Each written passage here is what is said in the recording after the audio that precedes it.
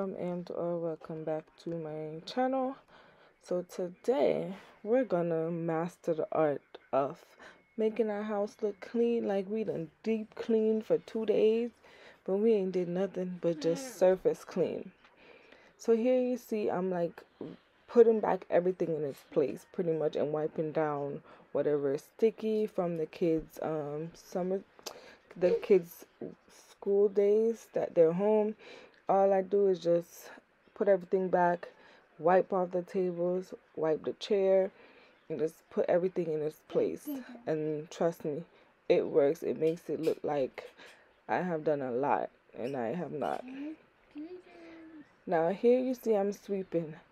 The most important thing you will notice is if your floors look clean, trust me, that is a major part of this process.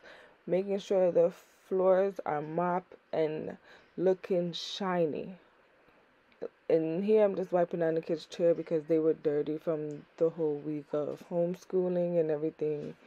So I just want to make sure everything looked presentable. So you're pretty much going to surface clean your whole apartment. That's what I'm doing.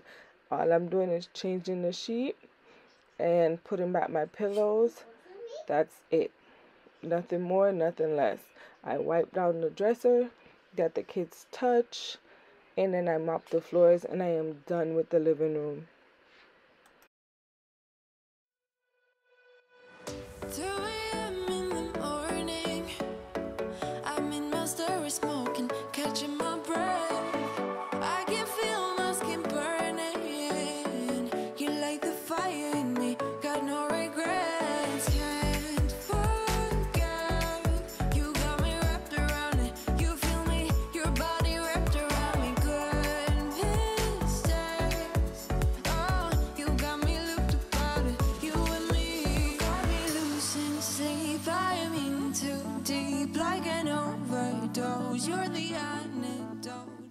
So after I am finished with the living room, I jump straight into the kitchen. All I do in here is just wash the dishes, make sure the dish strainer is cleared, wipe the counters down, and clean the um the stove and put back anything that the kids took took out of their snack drawer. I just put it back in their snack drawer. No special order because, like I said, I'm not deep cleaning. I'm just pretty much surface cleaning just so the house looks like I've deep cleaned the whole house. And here, um, you'll see I lit a candle. If you're not a big fan of candles or you like essential oil, you can do that also. You can tip some essential oil in the water that you're using to clean and in some warm water and trust me that will make your whole house smell like essential oil so if you are not a big fan of candles or you just don't like to burn them because i'm not a very big fan a lot of times either. So you can just dip, um, put some essential oil in some warm water and just wipe down your apartment. It will have your house looking so uh, smelling so so good.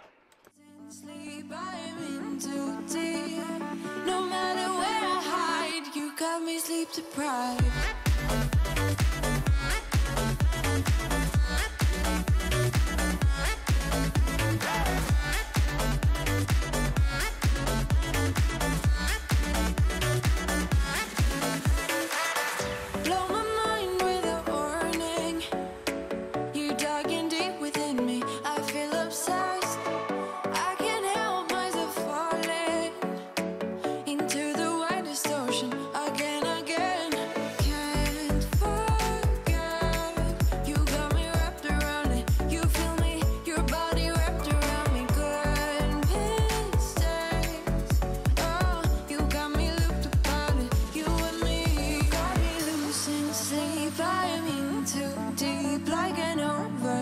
knows you're the antidote.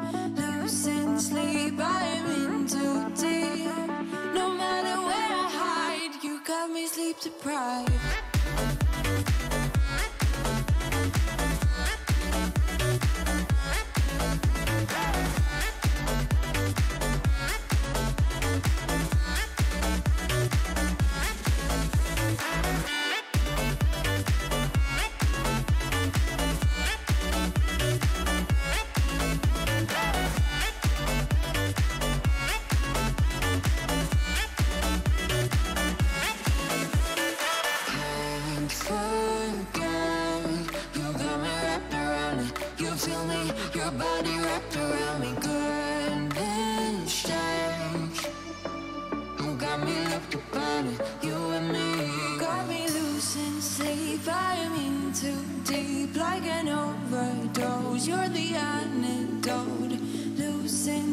In I'm in too deep. No matter where I hide, you got me sleep deprived.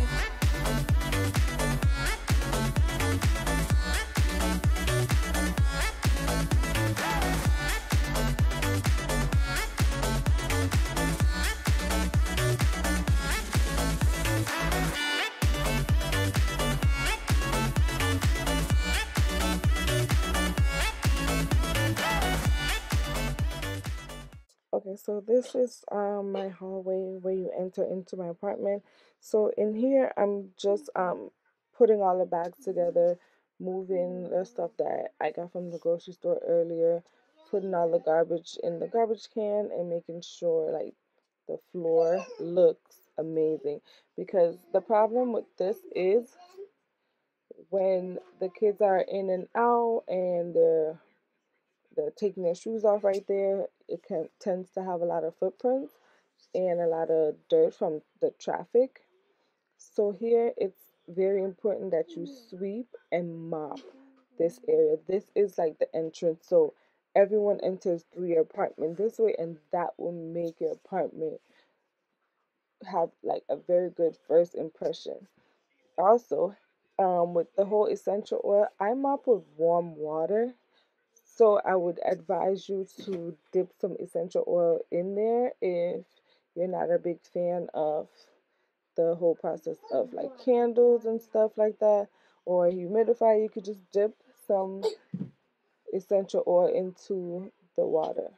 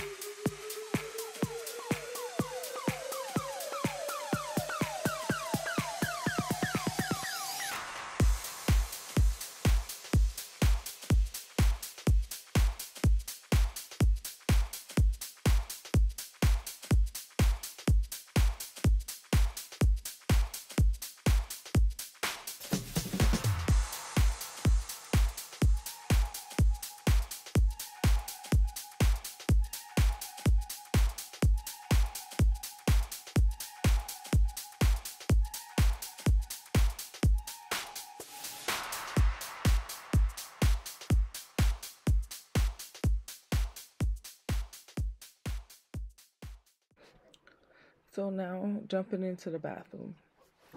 I know you guys have seen me clean my bathroom over and over, but this is going to be a little bit different because I'm not going to deep clean. The only place I would probably say I deep clean is a tub, and that's because it gets a lot of traffic. The boys will be in there sometimes 10 15 minutes each playing. This is everything that I use to clean. Um, same thing I've always used to clean. But for me, I am going to deep clean pretty much my whole bathroom. But if you just want to surface clean, if your bathroom has a shower curtain, just you can skip cleaning the shower. But like I said, my kids take forever in there. I use it every day, sometimes twice a day. So I do try to clean it every week and then the main focus needs to be the sink area and the toilet area.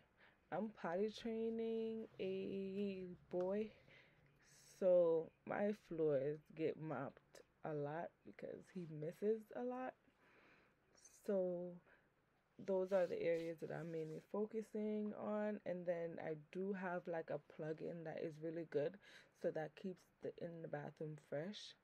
So that that also helps.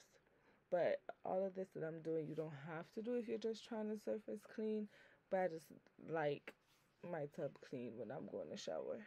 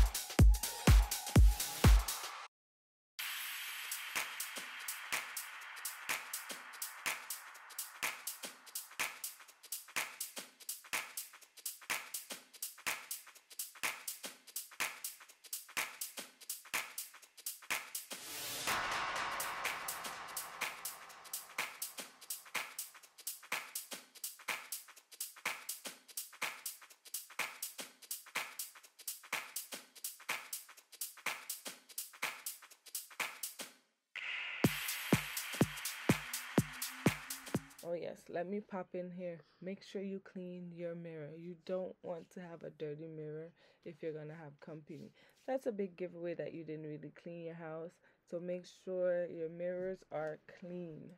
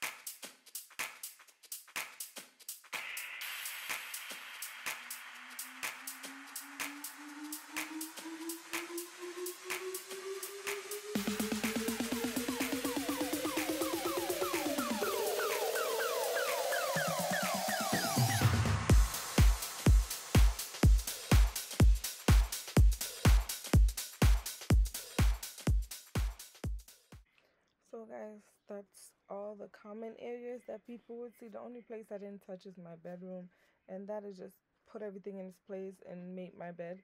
and my room look very nice so here you can see that after and you'll see the difference of before when I started everything looked a whole lot better than when I first started. Everything looked like it's in its place. It looked like I probably spent hours deep cleaning and this literally probably did not take me a good 30 minutes. And most of my time was spent in the bathroom and if you're not doing all of that then your time will be a lot shorter. So i hope you guys enjoyed this video. Please don't forget to like comment and subscribe. Or and let me know some little tricks that you do around your home that you like to share. Or if there's anything you'd like to see me clean or for us to tackle together let me know and we'll make it happen so don't forget to like comment and subscribe and share this video